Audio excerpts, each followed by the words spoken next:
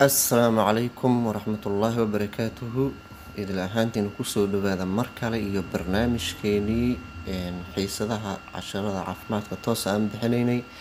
Maadadana waa maadadii medical mayow barycytology insha allahu tacaala.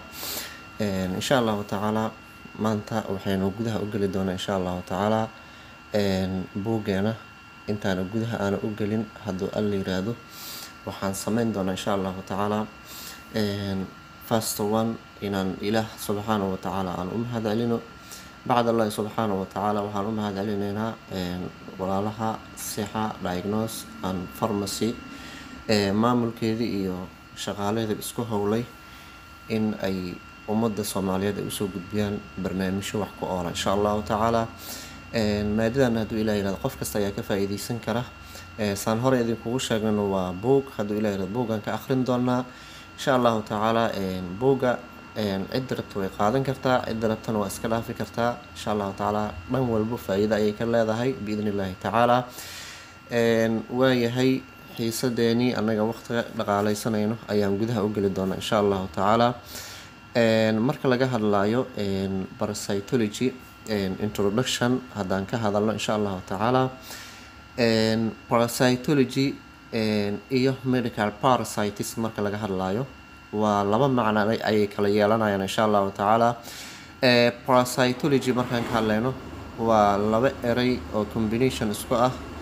Waxaan leenahay parasite oo laga keenay noolaha laga keenay ama darisku noolaha laga keenay logosna laga keenay study ama barashada insha allahu tacaala parasitology markaan leenahay is the study of parasites waaye is the study of parasites waa barashada noolayaasha darisku noolayaasha ah waaye dadka macnaha noolaha noolaha kale ku kor nool ama ku nool ayaa layirahda darisku noole ayaa af soomaali lagu yirahda insha allahu tacaala parasitology maxaan ku sheegnay is the study of parasites waa barashada darisku noolaha ama noolaha u baahan noolaha kale inuu ku kor noolaado ama inuu ku dhex noolaado insha allahu tacaala. Okay laakiin marka laga hadlayo medical parasitology marka laga hadlayo eraya medical laga hormariyo waa kala duwan yihiin. Medical marka laga hadlayo parasitology-ga waa qeybtiisii humanka ama bini aadamka ku dhacda waaye. Parasitologygii hore aan soo marayni wuxuu ahaa general. Balantiska hadduu ku dhaco ama dhirta uu ku dhaco haddii xayawaanada uu ku dhaco haddii bini aadamka uu ku dhaco general ahaan parasitology ayaa la dhihi jiray. Laakiin area medical markuu yimaado waxay tahay for human being. Bini aadamka keliya waaye insha allahu tacaala nooca keliya bini aadamka asiiba ayaa la yidhaha medical. Ereygaas hadiiba ka hormara insha allahu tacaala. Parasitology medical parasitology marka laga hadlayo waxaan leenahay study of parasites. Waa barashada cayayaanada ayaan leenahay insha allahu tacaala cayayaan wuu soo gelayaa parasiteska laakiin waa noole ku nool ama ku kor nool bini aadamka waaye cayayaanka marka laga hadlayo parasiteska ayuu ka mid yahay womiska gooryaanada ka mid ah insha allahu tacaala. Marka waxaan leenahay medical parasitology is the study of parasites. Waa barashada darisku noolayaasha which medical implication kaasoo macnaha saameyn caafimaad ku leh that affected in or on the human body kaasoo saameeya ama effect gareeya in bini aadamka gudigiisa or on the human body. Bini aadamka korkiisa ayuu asiibayaa ama wuxuu asiibayaa jirka gudihiisa ayuu asiibayaa. Insha allahu tacaala caafimaad daro ayuu ku keenayaa in markaan leenahay waxaa ka mid a wormiska ayaa ka mid ah sida scars lambercodis sida hog wormiska ayaa ka mid a iyo waxyaabaha la midka ah. On markaan leenahay tikist ayaa ka mid ah ama bahashan ay u yaqaanaan shilinta ayaa ka mid ah liska ayaa ka mid ah ama injirta oo kale ayaa ka mid ah. Insha allahu tacaala all of markaad aada u fiirsatana maxay tahay? Waa parasites. Aan ku soo celi insha allahu tacaala ereygan parasitology marka laga hadlayo is the study of parasites waa barashada darisku noolayaasha medical parasitology markaan ka hadlayno waa erey loo isticmaala asna parasitiska ama darisku noolaha ku dhaca bini aadamka waxaan leenahay is the study of parasites waa barashada darisku noolayaasha which medical implications kaasoo macnaha xaalad caafimaad ama implicationed waxyeelo that affected oh kaasoo waxyeeleeya in bini aadamka gudihiisa oo on the human body banaanka ama dibadda banaanka qeybaha oogada sare iyo oogada hoose oo waxyeela. Insha allahu tacaala sidaas ayaanu leenahay insha allahu tacaala labada erey sidaas ayay ku kala duwan yihiin. Okay parasiteska aan sheegayno oo darisku noolaha muxuu yahay. Insha allahu tacaala ayagana aan wax ka ogaano parasiteska gruubkan loo yaqaano ama kooxdan loo yaqaano darisku noolayaasha ah living organism waa noolayaal waaye. Ee parasiteska are living organism waa noolayaal waaye. That acquires kuwaasoo ay u baahan yihiin some of its basic nutritional requirements kuwaasoo ay u baahan yihiin waxyaaba asaasiga noloshoodu ah nafaqa ahaan ay u baahan yihiin through its intimate contact with an other living organism. Taasoo macnaha ay u marayaan inay la xiriiraan ama saameyn ay ku yeeshaan noolo kale.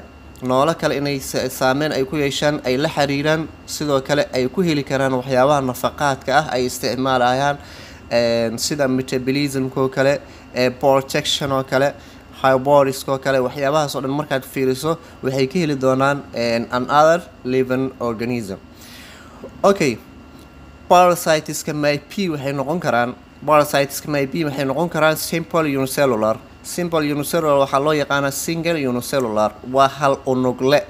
Hal unugle ayuu noqon karaa. Parasiteska halka unug noqonayo waa koox loo yaqaano protozoa koox loo yaqaano protozoa ayaa la yihahdaa sidoo kale oo complex multicellular metazoa ama wuxuu noqon karaa complex kuwa isku cufan multicellular oo macnaha unugyo badan ka kooban metazoan ayaa loo yaqaana insha allahu tacaala waynu kala saari doonaa parasite nooc walba uu leeyahay. Horeyna waxaan u soo sheegnay inaan kala saari doono taasoo ay noo sahli doonto daawadiisii rasmiga ah iyo juqraafically meel walba inaan helno. Insha allahu tacaala waxyaabaha aan ka faa-iideynay ka mid tahay insha allahu tacaala okay again aan ku celiyo parasites markaan ka hadlayo noolayaasha oo hadda aan ka hadlayno dirs noolaha are living organism. Waa noole oo organism ama noolayaasha ka tirsan waaye diaquars kaas wuxuu u baahan yahay lagu dhahay some of its basic nutritional requirements. Kaasoo u baahan yahay lagu dhahay basic nutritional waxyaaba asaasiga noloshu ah oo nafaqo ah waayo qofka nafaqa la'aan ma ma joogi karo oo noolaha nafaqa la'aan macnaha ma noolaan karo insha allahu tacaala. Allah ugu talagalay requirements uh, through its intimate contact with an other live, uh, organism. Kaasoo macnaha oo la xiriiri doonaa lagu dhahay oo asigoo u marayo noolaha kale. Laakiin shardiga ay leedahay waxay tahay parasiteska waa inuu ka yaryahay hoostiga qofka uu ku noolaanayo parasiteska waa inuu yaraadaa kan lagu noolaadayo waa inuu weynaadaa waa insha allahu tacaala waynu arki doonaa parasiteska myb waxay noqon karaan noolayaashan dirisku noolaha waxay noqon karaan simple unicellular oo loo yaqaano single unicellular ama single cell. Hal unug inuu ka kooban yahay.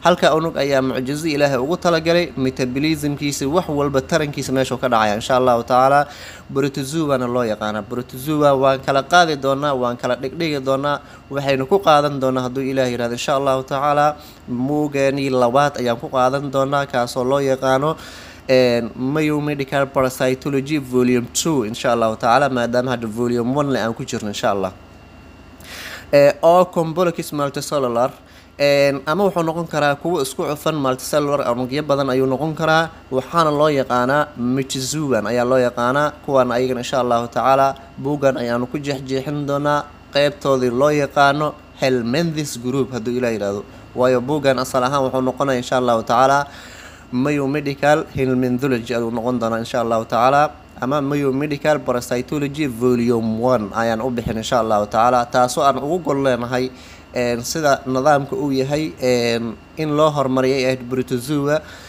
sidoo kale lagu xijiyo helmendis sidoo kale lagu xijiyo arthropods ama entomology. Laakiin waxaan isku daynay insha allahu tacaala si maadada muctadil ama dhexdhexaad ay u noqoto qof kasta ay ugu faa-iideysato inaan soo horumarino helmendiska sida gooryaanada dhaadheer ayay dadka aada u yaqaanaan insha allahu tacaala inaan meesha aan ka galno dina nuuca loo yaqaano brotozowaha aan gudaha u galno insha allahu tacaala waayahay ayadoo arrintaasii jirta insha allahu tacaala parasitologyga marka laga hadlaayo wuxuu soo marayaa historical. Wuxuu soo marayaa historical waxaa loo yaqaana of parasitology.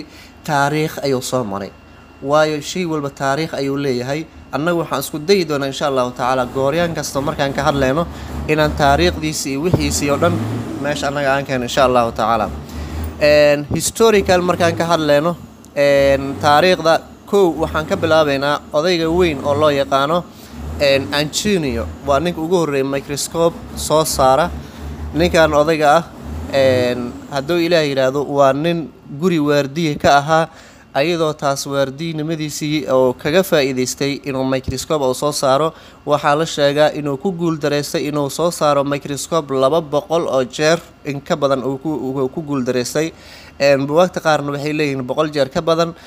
Kuwa qaarna waxay leeyihiin boqol sagaashan iyo sagaal jeer ayuu ku guuldareystay markii laba boqolaad ayuu wuxuu soo saaray crud microscope oo hal ilaa insha allahu tacaala. Crud microscope oo single ibs ah insha allahu tacaala ayuu soo saaray. Insha allahu tacaala nuuca soo saaray waan arki doonaa insha allahu tacaala. Ninkan odayga ah oo hadda hortiina ka muuqda waa insha allahu tacaala biner dag microscopist ayaa loo yiqiinay insha allahu tacaala. Waa nin microscobiga oo soo saaray. Waa dadka qaar waxay leeyihiin roberto hog ayaa kaga horreeyay laakiin ninkan ayaa kaga horreeyay inuu microscope soo saaro. Antonio van leeuwenhoek of holland in sixteen eighty one marka laga hadlaya antonio oo holland waa waardiye ayuu ahaa. Insha allahu tacaala guriga waardiye ka ahaan jiraa la sheegaa. Marka laga hadlayo sixteen eighty one-ka ama lix iyo toban siddeetan iyo kow aan ka wado kun lix boqol siddeetan iyo kowdii first introduced waxyaabaha kow uu soo saaray waxay tahay single lenis microscope ayuu soo saaray. Hal il microscope ayuu ku soo saaray. An observed wuxuu ku fiiriyey jaardiya noolaha loo yaqaano jaardi ayuu ku fiiriyay bortozuwaha ka tirsan in his own stulis ayuu ku fiiriyay wuxuu ku fiiriyey saxaradiis ayuu ku fiiriyey kadibna jaardiya ayuu ku arkay insha allahu tacaala. Waa ninkan antony la leeyahay insha allahu tacaala sidaa inaa ula socno waayahay markaan ka hadalno magaciisa oo dhammaystiran antonio oo full namekiis aan ka hadalna maxay tahay? Antonio philipis van lewin hoog ayaa la yidhahdaa magaca kale loo yaqaano waxay tahay father of microbiology ayaa loo yaqaanaa aabihii microbiologyga. Sababtoo ah maadaama jaard uu ka helay microbiologyn horey aan u soo sheegnay inay shan koox ay noo ahaayeen. Insha allahu tacaala jaardigan uu ka mid yahay shantaasi koox mid ka mid ah. Waayo barasite ayuu ka mid yahay shanta koox oo microbiology ayuu ku jiray. Barasiteskan waxa waa jaardig ayaa ka mid ah group loo yaqaano brotozoa insha allahu tacaala gooryaan walban inaan u abtirino ayaan isku dayana insha allahu tacaala iyo taariikhdiisa inaan meesha aan keeno insha allahu tacaala. Waayahay antonio markaan ka hadlayno father of microbiology ayaa loo yaqaana insha allahu tacaala. Waa aabihii noolaha yaryar ayaa loo yaqaana insha allahu tacaala. And one of the microscopistna waa la dhahaa waa qof oo microscopist ah qofka microscopyada soo saaray mid ka mid a ayuu ahaa laakiin asaan ugu horreeyey sida la sheegayo robert hoog iyo dadkaas ayaa ku soo xigay insha allahu tacaala. And microbiologist iyo microbiologist waxaan horey ku soo sheegnay insha allahu tacaala qofka ku takhasusa shantii group ay ahayd bacteria viruses parasiteska algaya iyo fungiga. Intaas qofkii ku soo takhasusa waxaan u naqiinay microbiologist intaas ayuu ku soo takhasusay ayaan oran jirnay insha allahu tacaala nationality marka laga hadlayo dutch waaye marka laga hadlayo hollandaise waa ninkan netherland dutch waa kuwan waxaa la leeyahay luuqadan dutchka ku hadlo sida indabuluga kuwan ah waa insha allahu tacaala he was born wuxuuna dhashay on october october ayuu dhashay labaatan iyo afarta october ayuu dhashay kun lix boqol soddon iyo labadii ayuu dhashay insha allahu tacaala. Wuxuuna ku dhashay magaalo loo yaqaano delv waxayna ku taalaa koonfurta iyo galbeedka waxay ku taalaa netherland ayay ku taalaa insha allahu tacaala. Andright wuuna dhintaa lagu dhahay wuxuuna dhintay on agos agos ayuu dhintay labaatan iyo lixda agos ayuu dhintay kun toddoba boqol labaatan iyo saddexdii marka laga hadlaayana wuxuu ku dhintay isla magaaladaas netherland gudaheedii ah wadanka netherland loo yaqaano oo yurubta ka tirsan insha allahu tacaala ayuu ku dhintay. Again markale aan ku celiyo full name of antonio waxaa loo yaqaanaa. Antonio philipis van hoog ayaa loo yaqaanaa magaca kale loo yaqaano waxay tahay father of microbiology waa la dhahaa. Waa aabihii noolaha yaryar sidoo kale one of the microscopistin waayahay. Qof oo microscoobyada soo saaray oo isticmaalay waaye and microbiologistin waayahay. Noolaha yaryar mid ku takasusan waayahay. Marka laga hadlayo nationality ama dhalashadiisana waa daj waaye wuxuuna dhint wuxuuna dhashay octoobar labaatan iyo afarteeda kun lix boqol soddon iyo labo magaalo loo yaqaano delf oo netherland gudaheedii ah wuxuuna ku dhintay isla magaaladaas agos ayuu ku dhintay lix iyo labaatanka kun toddoba boqol labaatan iyo saddexda isla magaalada netherland anaga aan sheegayna ayuu ku dhintay. Idan cilmiyadan markaa fiiriso oo maadiga ah haddii kor la geeyo before ciisa iyo adiga un ka soo bilaabo xatee haddii uu gaaro xatee nebi muuse calayhi salaam aan marka insha allahu tacaala laakiin waxyaabaha cilmiyada oo adduunka sida loo abuuray isou yahay iyo koomkan goorta la yimid iyo hadday tahay marka laga tago nolosha ka dambeyda cilmiyada lagu fiiriyo waa cilmiga ee alkitaabu wasunna ayaa asal ah insha allahu tacaala ayagaasana ka sheekeyo cilmi kale oo sharaxayo nolosha adduunsay ku bilaabatay iyo marxaladihii ka horeeyey iyo nolosha adduun waxyaabaha ka dambeeya ma jiro ilaa alkitaaba wasunna waa insha allahu tacaala. Si kasta haddii loo dadaalay technology walba la isticmaalay mana la keeni karo waxyaabaha qiyaamaha dhici doono iyo qabriyada dadka waxyaabaha ku qabsan doono. Ilaa alkitaaba wasunna oo ilaahay ku cadeeyey maa faradnaa fi lkitaabi min shayin waay nolosha adduun iyo nolosha aakhiraba intoodaba insha allahu tacaala alkitaaba wasunna ayay ku taala insha allahu tacaala waana taariikhahan aan ka sheekayna waxay tahay inaysan meel dheerba aysan gaarsiisnayn waay. Magaaladana sabir ahaan markaa fiirido waa qaabkan ay ahaan jirto waagii hore insha allahu tacaala waa magaalo hadda ay jirto. Waayahay insha allahu tacala inaan soo koobaan isku daraa isku daya insha allahu tacaala antonio philipis fan. Marka laga hadlayo wuxuu soo saaray microscope ugu horreeya uu soo saaray kan oo ah hal ilo ku isticmaalay taasoo ku isticmaalay istuulkiisa ama saxaradiisa asoo jaardii ka helay. Kadib waxaa la soo saaray microscope-kan oo double microscope loo yaqiinay john marshalls nin la yiraahdo ayaa soo saaray. Microscope-yada way sii socdeen oo waa la soo saari jiray. Microscope-kan ayaa la soo saaray. Asna sidoo kale nin la yiraahdo benyamin ayaa soo saaray insha allahu tacaala si loo waday waxaa la soo saaray microscope-kan hal il ayaa la soo saaray insha allahu tacaala. Nuucyada microscope-kan haddii oo uu ku leeyahay halkan aan falaart kugu tilmaamo qeybtan hoose haddii hal il uu ku leeyahay waxaa loo yaqaanaa crude microscope. Ayaa loo yaqaanaa. Haddii inta haddii hal il uu ku leeyahay sida kan kale uu ku leeyahay waxaa loo yaqaanaa monocular. Hal ille insha allahu tacaala hal xiisad ayaan microscope ku jeexjeexi doonaa. Noocyada annaga aan isticmaalan hadduu ilaah yidhaahdo miiska ayaan idiin soo saari doonaa annagoo u kala dhigdhigi doono inta ugu muhiimsan boolal insha allahu tacaala waayahay se u socotay waxaa la soo saaray microscope-kan oo hadda casriga la isticmaalo oo soomaalidu ay isticmaasho. Kan waxaa loo yaqaanaa compound tricular marka compound tricular waxaa laga keenay microscope walbo halkan falerta aan ku hayo microscope walbo oo halkan hal il iyo ka badan uu ku leeyahay. Hal il inuu ka bato laba il saddex il afar il hadduu ku leeyahay waxaa loo yaqaanaa compound microscope ayaa loo yaqaanaa haddii microscope-ka halkan saddex il uu ku leeyahay labada indhood waa meesha la saaranayo. Halkan ishan additional waaye waxaa lagu xirayaa project ayaa lagu xirayaa insha allahu tacaala taasoo loogu faa-iideynayo qofka kale markaasi meesha jooga ama qofka uusan ka gaarin inuu ibcska oo fiiriyo. Insha allahu tacaala all microscopeska waan kala saar saari doonaa xiisadan aada iyo aad ayay noogu dheeraatay insha allahu tacaala. Okay si loo socday waxaa la soo saaray microscopyada loo yaqaano scanning electron microscope kuwa sawirka qaada insha allahu tacaala. Sida hadda aan ujeedna sawirkan waa bacteria waayahay microscopyada way sii socdeen. Scanning electron microscope ayaa la soo saaray. Sawirka hadda waxaa lagu qaaday bacteria waaye kana lagu qaaday. Insha allahu tacaala sawirkan hadeerta idinkuga haya falaarta. Kan waa nooc ka mid ah parasiteska insha allahu tacaala. Kadib waxaa la soo saaray microscope-kan loo yaqaano electron microscope insha allahu tacaala xiisadeenana meesha ayay noogu siman tahay. Insha allahu tacaala qof kasta ayaana ka faa-iideysan kartaa muhiimadda ma ahan inaad subscribe keliya noo saarto. Muhiimadda ma ahan inaad like noo saarto. Annaga muhiimadda annaga aan leenahay waxay tahay cilmigan caafimaadka inaan ballaarino. Ummadeenii soomaaliyeed muslimka ah inaan wax tarno insha allahu tacaala qof kastaana waxaan ka codsanaynaa insha allahu tacaala waxyaabaha ay nagu soo caawin karaan waxaa ka mid ah inay dembi dhaaf alla noo weydiiyaan insha allahu tacaala ilaahay dembiyadeena iyo dembi waalidkeena inuu dhaafo. Insha allahu tacaala soomaalida dhammaanteedana dad walaal ah isjecel oo diinteedu ku toosan oo hal hadaf wada leh inuu ilaahay ka wada dhiga insha allahu tacaala.